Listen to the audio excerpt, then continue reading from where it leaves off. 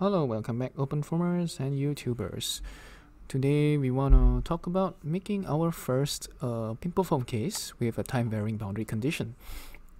Okay, so in the last video we talked about how these time varying boundary conditions work and we have uh, uploaded uh, kind of a comparison cases in the GitHub. Okay, so my GitHub should be in the right side. Okay, clear and I'll go to this uh, okay we have four cases. We want the time varying cavity foam.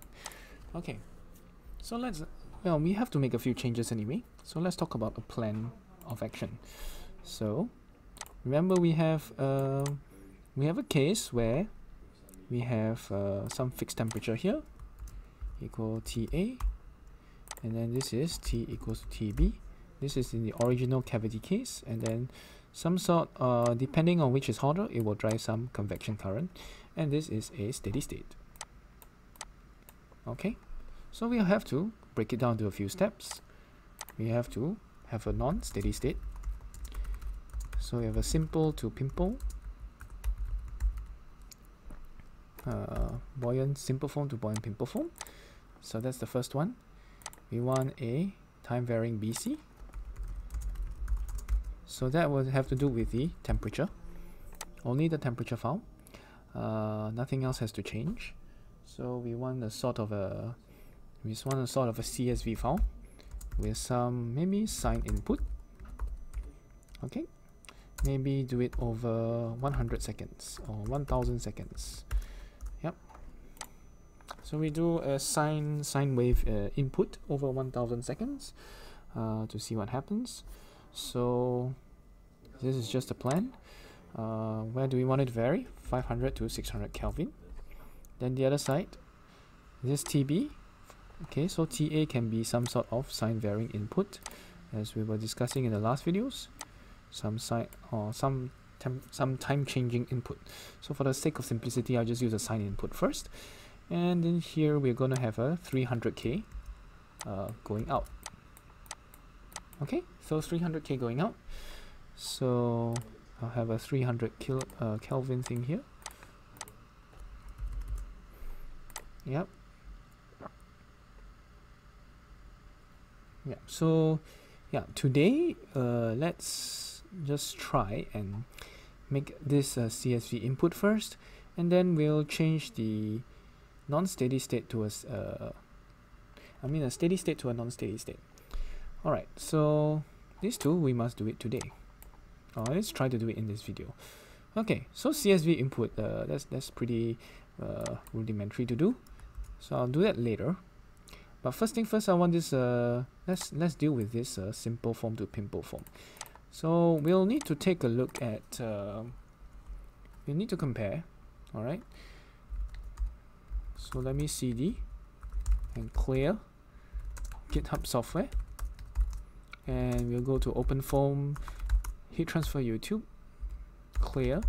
And then we'll go to buoyant pimple foam time varying BC and we'll want to look at the thermocouple test case. Okay? Alright so this is where the pimple foam solver inputs are being put. So we'll go to uh, time varying cavity foam and this is the file we want to change.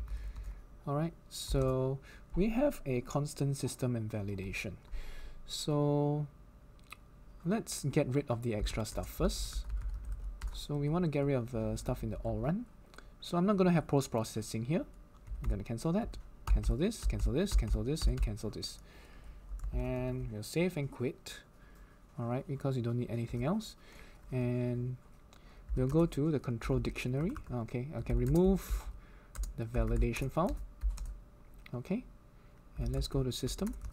And there are only four files there. I don't need the sample. Okay. I'm going to clear this. And let's take a look the, at the control dictionary. Cd control dict. Oh well sorry.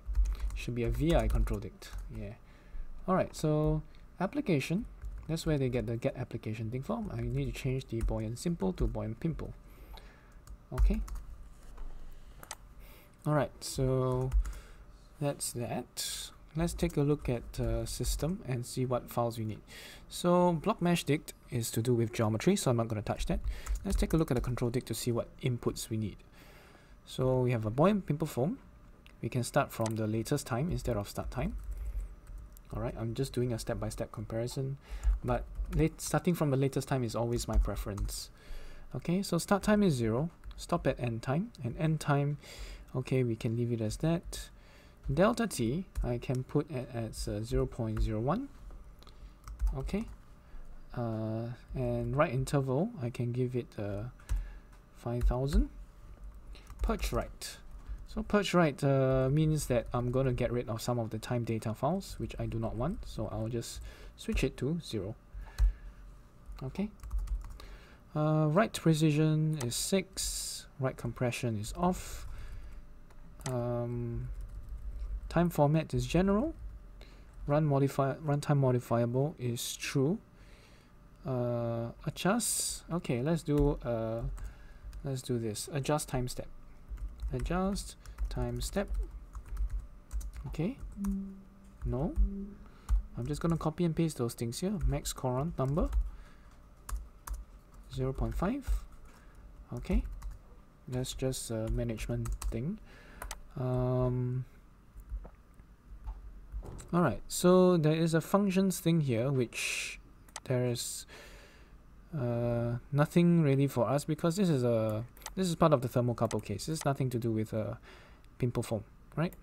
So there'll be thermocouple properties, uh, yeah, which will describe the thermal, hmm, the pro the therm thermophysical properties of the thermocouple. Uh, we don't need this because we are not putting this in at all. So the functions thing we can just leave it empty. We can just well, one way of need this. functions and then uh, open and close. I'm not gonna do anything there. It's kind of redundant, but uh, just in case we need that. In, in case we need an empty entry in there, but I doubt we'll need an empty entry. just to make it run, but let's QA, quit everything. Okay, that, oh shucks, oh no, I just, okay, good, I saved it. WQ and quit. okay, what's next? FV schemes. Let's go to FV schemes, which is very important. VI FV schemes. Alright, let's go line by line to add in anything we need to do. So first thing first, it's no longer steady state. We need an Euler. Euler uh, DDT scheme. Alright, instead of steady state. So Euler. And I'll save it here. Next thing we need is a Gauss linear gradient scheme, which we do have. Okay. Alright, so for this divergence scheme, we'll need to add in entries that are missing from the left hand side to the right hand side. So U, K, U, K, H, K, epsilon, omega, and whatever is here. Mm, that's okay it should be up to epsilon. Up to epsilon, all these are okay. See, there are entries on the right hand side. So, but we have uh, some other things here. Phi k, or phi k is in here. Okay. Divergence of phi and r becomes a Gauss upwind. Okay, we might, I mean, just just from the principle of okay this entry is missing I'm just going to add it in without uh, really understanding what it does. But if it works it works. If it's an extra piece of data it will just be extra piece of data that we don't really need at all. So UHK alright we'll have a divergence of phi and E this this entry is missing so I'll just put it there first uh, just you know kind of be redundant So R, R is in, E is in. We have big K and small k. And we need this EKP thing, whatever this EKP thing is. Okay, so we'll just put this here. And we'll have a divergence of R. okay I'm just gonna copy and paste it here. And divergence of JIII this looks like a radiation kind of thing. Um, we'll just leave it here first. Alright. As an entry. Otherwise it should be okay. Now Laplacian schemes we have Gauss linear orthogonal. That's fine. And SN gradient scheme is uh, default corrected. Okay let's do a default corrected here.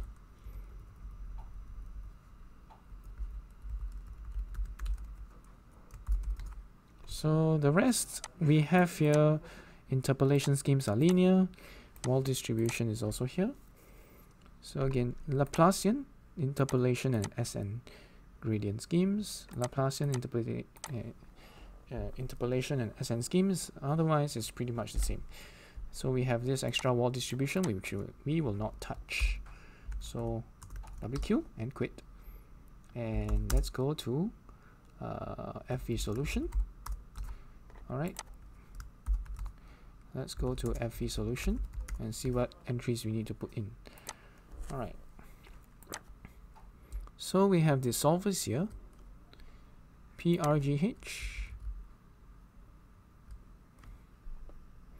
alright so the solver here is PCG instead of GAMG. So let's change the entry from GAMG to PCG. Okay, and precondition. I'll just put the DIC here again without really understanding what it's doing, but um, we'll just need to add in you know row by row of what what uh, needs to be done. So I can just uh, copy and paste this here. Alright, can copy and paste this here. The rho star. Yeah, so uh, we have a rho star there. Rho star is there. PRGH final. This is another one. You'll just add the entry in in case it's needed. This is the bare minimum, minimum to make it run. It's not really, again, understanding what's going on, but these are the bare minimum to make it run. So now this II, this II is to do with some um,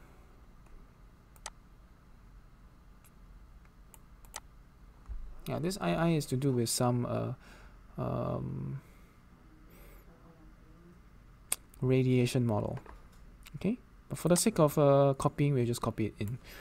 Alright. Alright so we're gonna copy this in. Again uh, mindlessly copying it in without really knowing, knowing what it's doing. So there's no E field here. I can leave the E field out. So it's UHK epsilon and omega and R at the final so I'll just uh, follow suit everything here with the R the back, which is basically all of this here and all of this here. And of course, we can add in an R entry in there as well, just for the sake of completeness. Okay, R. So this for radiation, not necessarily for the pimple foam. Um, yeah, I just leave these things there as is. Um, relaxation factors, there's no entry here, so I'm just going to leave that out. More importantly, instead of simple, we should have pimple. So I will add in the pimple, the pimple uh, algorithm here, pimple inputs. So in case we need to use buoyant pimple foam, which we will use buoyant pimple foam. So we have no momentum predictor, and autocorrectors is 1, and correctors is 2, blah, blah, blah, blah, blah. Uh, so we're not going to use simple foam anymore. We're going to use a buoyant pimple foam. So let's save and quit. All right. So that's a FV solution. So we should have all the suitable input files now just to run buoyant pimple foam. So uh, let's let's just do for the sake of testing an all run. So instead of uh, running for let's say a thousand seconds, we can do something for 50 seconds since we have made the time step so short. Let's do about 5 50 seconds. And we want to check our boundary conditions again. Cd0 and vit okay so we'll just we'll just uh, leave it as that to see whether buoyant pimple foam runs. This is just a test run. We haven't done the time varying st uh, test steps yet. So I'm going to do all run n. And let's check let's see whether pimple foam runs with any errors. So we'll have all this done. So it's running in PISO mode. So it's starting to run. Perfect. So we have a very high Courant number as usual. Probably the time step is too big. Okay but we'll leave it as it is. Okay we'll probably run into some error but at least you know buoyant pimple foam is running.